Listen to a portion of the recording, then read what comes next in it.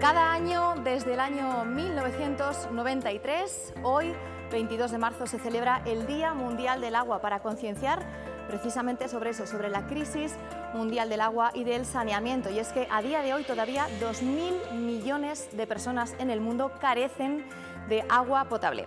¿Qué tal están? Muy buenas tardes y bienvenidos al tiempo de la 8 Valladolid. Día importante, el de hoy no solo para la meteorología, además, eh, bueno, pues con estas lluvias escasas que de momento parece que no van a aparecer, quizá hagan acto de presencia el viernes a primera hora, pero será como les hemos avanzado antes, eh, cosa de poco. Vamos ahora con las fotos, como siempre, que nos envían ustedes cada día a nuestro número de WhatsApp. Luego vamos con la previsión y son esas nubes que vemos en el cielo, esas nubes aborregadas desde Renedo de Esgueva, imagen de José Antonio Pérez. Seguimos con estas nubes altas en el cielo de Valladolid, fotografía que nos manda Montserrat Blanco. La antigua vía de Ariza, nos dice Valentín Rodríguez desde Traspinedo. Seguimos con esta bellísima fotografía que nos manda Andrea Brizuela desde Montealegre de Campos.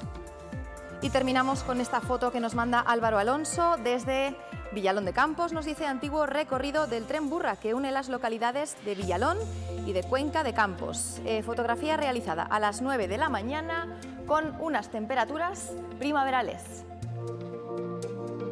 Bueno, pues sí que podemos observar el cielo, no eh, podemos percatarnos de qué temperatura hacía a esas horas de la mañana. Gracias a todos y cada uno de los espectadores que cada día nos mandan esas espectaculares fotografías. Bueno, vamos ya con la previsión de cara a mañana y a los próximos días porque en principio nos esperan grandes cambios. De hecho, las temperaturas siguen muy similares a las que tenemos hoy. Temperaturas, por cierto, por encima de lo normal. Esas máximas hoy están unos 7 grados por encima de lo normal van a seguir también muy similares mañana, con esas mínimas que además suben ligeramente. Mañana esas máximas, como estamos viendo, se van a quedar rondando los 20, 22 grados, dependiendo de la zona de la provincia donde nos encontremos. 22 grados en Cigales, Santovenia, Laguna de Duero, Zaratán, Villanueva en general.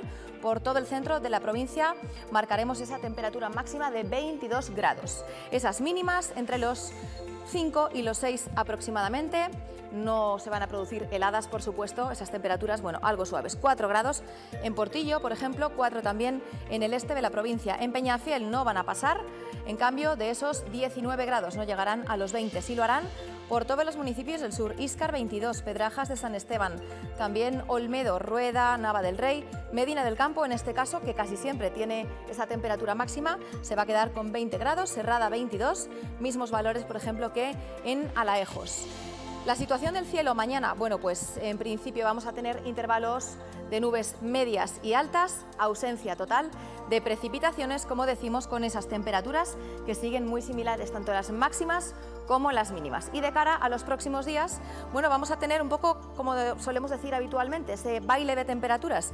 19 grados de máxima el viernes, 20 el sábado, 19 el domingo, atención a las mínimas, 7 el viernes, descienden notablemente el sábado y vuelven a subir otra vez de manera brusca en la jornada del domingo. Así que tenemos por delante, bueno, pues un ambiente estable con el predominio del anticiclón, esas altas presiones que nos deja, bueno, pues unas temperaturas también bastante agradables y un poco más altas de lo normal para esta época.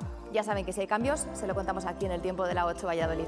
Nos vamos despidiendo, como siempre, recordándoles el número de WhatsApp al que cada día nos mandan esas bellísimas fotografías. También recuerden, pueden hacer vídeos, pero siempre en horizontal. Nada más, que pasen un feliz resto de jornada. Gracias por acompañarnos.